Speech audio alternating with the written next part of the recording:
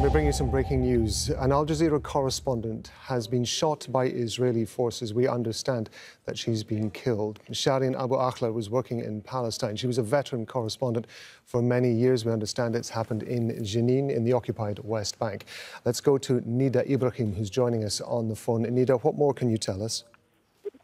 What we know for now is the Palestinian Health Ministry has announced her death after Shireen Abu Akleh, who was, has been covering uh, the events unfolding in Jenin, specifically an Israeli raid to the city in the north of the occupied West Bank, where she was hit by a bullet to the head. She was transferred to the hospital. Our colleague and producer Rania has been in touch with the hospital before the announcement of the death. The uh, medical team told her that she had a very, very slim chance and unfortunately, we just got the news from the Palestinian Health Ministry announcing her death. As you can imagine, this is it gave us a shock to the journalists who are uh, who have been working with her. She's a very well respected journalist. She's been covering the Palestinian story for years and years now.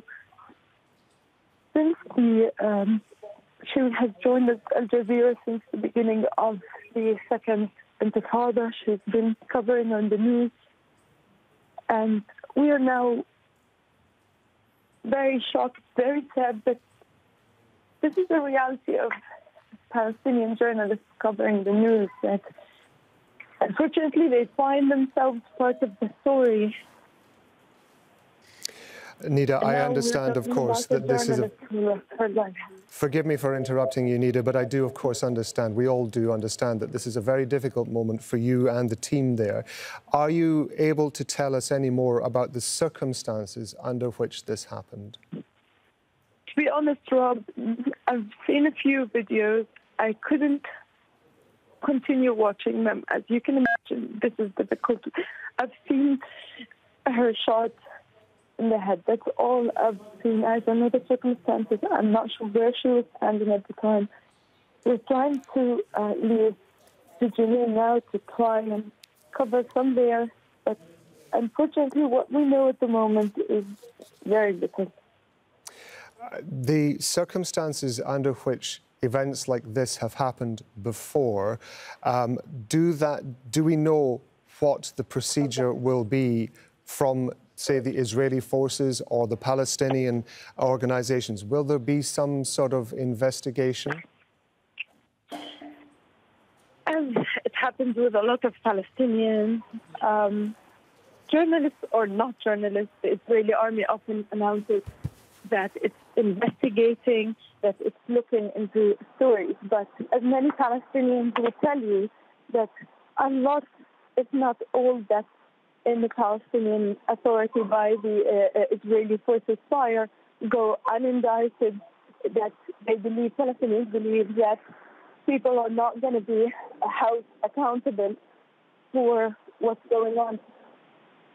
It's, it's not something that is limited to journalists, to Palestinians.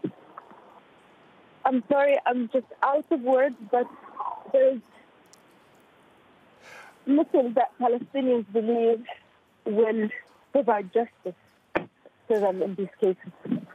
Nida, if you can, bring us up to date with the situation that has been going on between Israel and Palestinians in the last few weeks, particularly, of course, for viewers who are just joining us and may not be aware of what's been happening.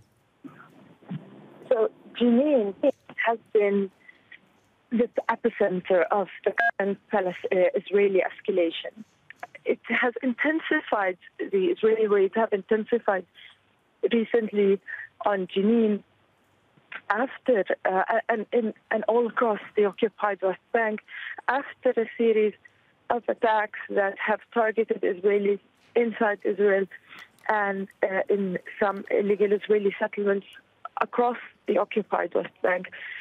But the Israeli escalation has been ongoing for years.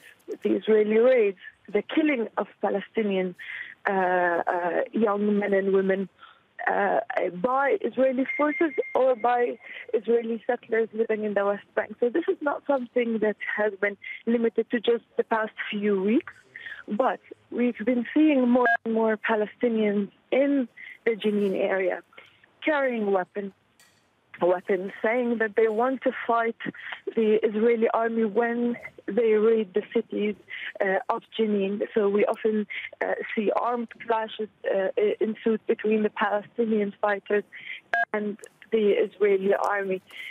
So, if so, the the place where the escalation has been intensifying is the Jenin area, and we've been speaking to a lot of young Palestinians there who are saying that they don't believe that they have hope for a political horizon, for a future, and this is why they're fighting Israel. They're telling us that this is the only option that Israel has left with. And Shireen has been covering extensively on that story.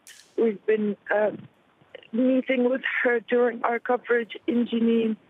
Even just yesterday, she commented on a picture of us and said, "Come to Jenin, uh, uh, cover with us." So, I, I, it's it's just words escape me. Nida, just stay with me for a second. I just want to uh, inform viewers who may just be uh, joining us that we are getting reports that an Al Jazeera correspondent, Shireen Abu Akleh, who's working in Palestine, in Jenin, in the occupied West Bank, has been killed after being shot by uh, Israeli forces. Uh, Nida, just give us some indication, if you can, of the kind of conditions that journalists covering the situation are facing on a regular basis. Important to highlight that Palestinian journalists are not only shot or hit because they're just there. They are often targeted, and we see it when we cover protests or when we go to places that sometimes the Israeli army specifically shoots at journalists because part of what we do is uncover the crimes or the attacks or whatever the Israeli army doesn't want to be put out on air. So when you talk to lots of Palestinian journalists, they, they would show you injuries, they would show you uh, uh where they've been shot by Israeli forces fire or by illegal Israeli settlers. So the circumstances that Palestinian journalists are living under are not so different from the rest of their people. And remember, the Palestinians are covering a story that is theirs, that is very personal to them. And, and this is sometimes we cover a story that we know the person who was shot and killed. So they are part of the story and they are part of unfolding and uncovering what is happening in the occupied territory. Uh, Nida, is there any effort that can be made by, on behalf of, on, by organizations on behalf of Palestinian journalists who are covering this situation to try to protect them? Or is there a limit to what can be done? That's the thing. You are talking about a powerful uh, uh, military occupation that has been targeting journalists for years. So it's important talk about the story, it's important to keep highlighting those violations. But as long as we don't see people or, or soldiers or perpetrators being brought to justice for what they do, we're not looking at an end to this series of killing journalists or, or, or them being shot or them being injured.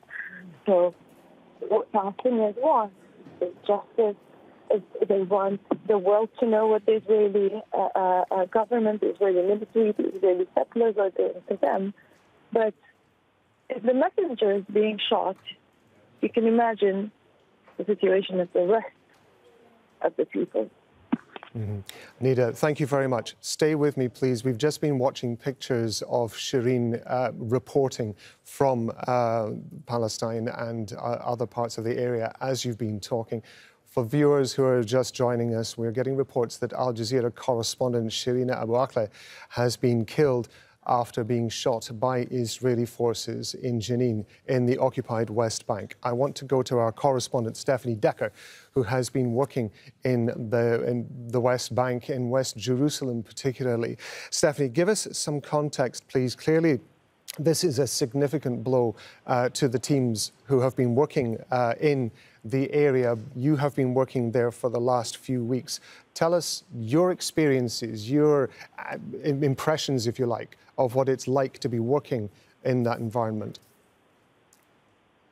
Well, I mean, I haven't uh, actually been in Jenin in the last couple of weeks because Nida, uh, our West Bank correspondent, has been covering um, what's been going on there, but I've been covering this region for around 16 years. So you know, we're well versed in, in, in how these things go. And um, in terms of context, there have been uh, Israeli army raids on the Jenin refugee camp. It's an area uh, where you do have, and you know, the West Bank, you don't usually see guns on the streets. in, the, uh, and this area does have, you know, armed men. So this is what the army has been doing um, in the last couple of weeks, particularly May, also um, targeting what it says were men and uh, people involved with uh, you know, men who carried out attacks inside Israel. Also, last Thursday, you had an attack uh, from two men who came from not particularly Jenin, but um, but from Rumana, which is a village close to Jenin. They carried out an attack in the central city of Elad. So uh, the army, uh, and in recent days, the Israeli media and the establishment here has been talking about another major clampdown, if you will, in Jenin. They've been um, weighing up two options uh, with the military advisors, uh, whether Jenin or Gaza, because uh, they wanted to respond to what you've had like now six or seven attacks within Israel. Having said all that, um, the security establishment here has maintained that these attacks are carried out by individuals, not particularly uh, have any group backing, factional backing, if you will. Uh, but you have had an increased rhetoric uh, from Palestinian Islamic Jihad, uh, also Hamas, and you do have elements um, of these in the camp. But of course, you know, going back to operating as a journalist, particularly in the occupied West Bank, during these kinds of raids, um, it's very difficult. And, you know, as you heard Nida say that, uh, people, we wear press vests, uh, clearly marked. Um, and the teams had been there. And this, this morning was a raid that has been carried, they have been carrying out these, out. This wasn't a major, major operation in the sense of what I just described to you has been debated here, whether that's going to start. So it's, um, it's tragic. Uh, I think we're all still in, in, in disbelief. You said uh, right at the start that you've been covering the region for about 16 years. Is it your impression that there is uh, that Palestinian journalists who are covering this conflict are treated or regarded differently by the Israeli forces uh, to, in comparison to, say, journalists who are moved in from other areas to cover the conflict? Or is there a, a are all journalists essentially regarded in a particular way by Israeli forces? I think you make a valid point. I think for sure. I think there is a, a you know, how, how, would I describe it? A hierarchy, perhaps? I mean, yes, all journalists can be targeted by Israeli forces, but certainly uh, it's, it's absolutely valid to say Palestinian journalists who as Nida also says, this is their lives, right? This is their story. They're covering their backyard. They're covering something that happens to them and their people. Um, it's very different. And yes, there seems to be more of um, of a, uh, how would I say open, you know, open book when it comes to targeting them, or and there's little accountability. You know, whether it's protests, whether it's you know, you know, raids like this. Um, there doesn't there isn't an element of, let's say, journalistic. Um, you know, that you don't you don't touch journalists because they're there. The Israeli army and the Israeli border police will very often target journalists to you know to disperse them. I mean, I, I've been part of that, and again, I'm a foreign journalist. You know, I've been coming here for years, but I come in and out. Um, and I think there is an element of discrepancy about whether you're a Palestinian journalist or you're a foreign journalist. But at the same time, you know, they do hit anyone. I mean, Gaza border protests, you know, they would chase us down with a with a tear gas drone actively. We, would actually run away from the drone, which would follow you. I've had colleagues have tear gas drop on their heads because they weren't aware it was hovering above them. Uh, journalists can be shot at. Journalists can be targeted with, you know, uh, today, tragically, it's live fire, but, you know, tear gas canisters, stun grenades, uh, you know, these sort of sponge bullets they use, but that can really maim and injure too. Yes, absolutely. Um, particularly, you know, when you're all gathered in a certain area. So this is something that is not new. Um, it's, it's not surprising. The, the, the outcome is tragically unnecessary, what has happened today with Shireen. I, I, everyone is just like, why? You know, why? Why has this happened? There was no reason for this to, ha- to happen. Um, so, so yes, uh, yes, the Israeli army, and I, and I, I, we haven't had a response yet. Uh, but this is something that, you know, uh, like Nida said, there's there's very little accountability. But this is this is a tragedy on a scale that uh, you know I, I, I, don't know. But yes, in my experience, absolutely the, the military targets, the border police target, and more so uh, more so Palestinian journalists. Absolutely, I think that's a very valid valid. Uh, statement. Steph, stay with me for a second. I just want to tell viewers who are just joining us that uh, we're getting reports that an Al Jazeera correspondent, Shireen Abu Akleh, who's working in Jenin in the occupied West Bank, has died after being shot by Israeli forces. Details are still fairly scarce, as you can imagine at the moment. We're talking to our correspondents, Nida Ibrahim and Stephanie Decker, who've been working uh, in the region. Um, Stephanie, with regard to what Nida had referred to in terms of a follow up to this, in terms of an investigation, she was giving me the impression that there wasn't a lot of confidence that there would be accountability at the end of this. What is your interpretation as somebody who's covered the region for 16 years? Um, and has seen events like this in the past. What's your interpretation of what the process is likely to be? Well, I think you know what, is what is accountability for someone who's lost their life, right? What is accountability for the family? Like, is it an apology? Is it you know? I I, I don't I, I don't see how any of that. Um, I mean, if I look at if we look at facts on the ground, know, journalists have been killed in the past. Uh, many years ago, you had a British activist, uh, Rachel Corrie. She was killed by the army many, many years ago. Um, there's an investigation. You know, what is accountability? Uh, I think what journalists want is for the, the methods of operating to change, is for them to be safe, to be able to do their jobs, uh, to be able to, to be in, you know, a relatively safe. Of course, when there's military confrontations, things are tense. I mean, we know this, and, and journalists, you know, you take measured risks on the ground, and particularly here, you know, when if you are a Palestinian journalist or you've been coming here for years, you understand a bit of the language of the ground. You, you, you know how to operate. You know that you stay behind certain areas, that you don't go in the middle of a, you know, of an active, like we know these things, but of course, you know, things on the ground change and they change very quickly. And I think at the end of the day, what people want, what accountability should be, is that, you know, journalists should not be actively targeted. Uh, it's as simple as that. Uh, you know, we should be able to do our job. The problem is these days, it sounds like a simple request, but it's, it, it, it's not. It's not anymore. You are actively targeted because you are a journalist, like Nida mentioned there. You know, they don't want you to see things. They don't want you to cover something. So, you know, so they will they will try to disperse you, whether that is with whatever means they use. The problem in Jenin is that it's an extra level of, of dangerous because the, you have the army there. It is tense. You have armed men in the camps, which is what the army is clamping down on. So you start having, you know, what are almost like mini pockets of an active war zone.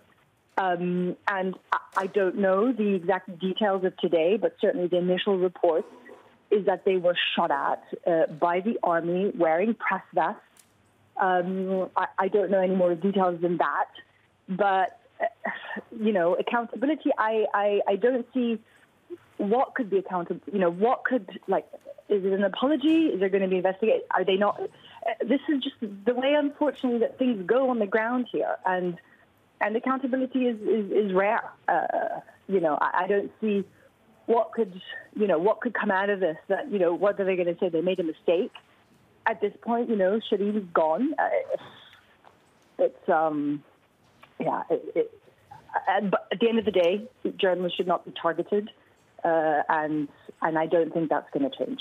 Stephanie, for now, thank you very much indeed. We've just been seeing pictures as you've been talking of Shireen uh, doing her work in, in, the area. I want to bring in uh, again Nida Ibrahim. Now, Nida, I understand, of course, that you and the team have been working very closely with Shireen uh, Abu Akleh. Tell me, if you can, um, how this it will affect the way that you choose to cover the situation uh, in uh, the, between Israel and Palestine, if indeed it will affect it at all. How do you make a decision to go forward after an incident like this? Yeah, I'm from the now. Uh, as I mentioned, I you know, woke up to the news. My family has been watching Al Jazeera Arabic. My mom learned of the news. Uh, Nida, forgive, please forgive me for interrupting you because unfortunately the signal that we're getting at the moment is not a clear one. I want to go back to, to Stephanie Decker. I want to, to Steph, to, to ask you the same question. Clearly this is a significant, but it is always a blow when somebody dies under any circumstances in any sort of conflict. But when it comes to being a journalist, how do you move forward? How do the teams move forward from this? What's the process? Do you do you stock uh, take stock and do you rethink the way that you cover uh, a situation like this? I think I don't think it's going to change how we operate. I think this is not going to make us stop uh, covering these kinds of things. Uh, again, like I don't know the exact details of, of, of how this happened. But you know, we, like I said, you know, we, we take measured risks, and uh, and often, you know, people even at headquarters don't even know what, what that what that's involved. You know, you're on the ground, things change constantly, um, and and we try and just understand the ground and read the ground and stay within, you know, within a, a measured half safe area of operating to be able to cover something. But like as anything on the ground, you know, things are fine until they're not and that happens immediately. And that's just something that we're also aware of. And you try to measure that as, as, as you know, as well as you can. And, and of course, you know, this is a, this is also a story, whether it's here, whether it's somewhere else. You know, to understand the ground is important. And Palestinian journalists, of course, know the ground. This is their home. This is, you know, like Nida was saying, they've been covering this extent. Shireen, she's been sleeping there. You know, they've been staying there. They know the ground. They know the streets. They have contacts. They, they, you couldn't be, um, how should I say, you couldn't be better prepared than they are. It's not a foreign team that has never been there, that have flown in, you know, and that, that have been there a week. No, you are talking about veteran journalists, Palestinian journalists from the area who have been there years in, years out, who've covered the story, who've lived the story, who know the ground, who know how to operate. Um, and this, is, I think, is the is the lesson out of this, right? It's like it's not uh, gung ho people who don't understand. No, these are people who couldn't know the story better uh, and the ground better. Uh, and this is and this is what tragically happened. I don't think it's going to change the way we operate. Um, but it highlights just how difficult I think it is for journalists to do their job. Um, and again, like I don't know the details exactly of how this happened today. It is, of course, a tense area. You have Palestinian gunmen, you have the Israeli military. It is tense. Um, there is live fire. From what I understood, there was an exchange of fire also with, with, with, with gunmen in the camp with the army. So again, I don't know all the specifics, but you know, uh, it's one of those things. This was this is a veteran team. This is a team that's been covered. They're from, you know, the occupied West Bank. They covered Jenin extensively. Um, they couldn't have been better informed in terms of how to operate on the ground. Mm. Stephanie, for now, thank you very much indeed.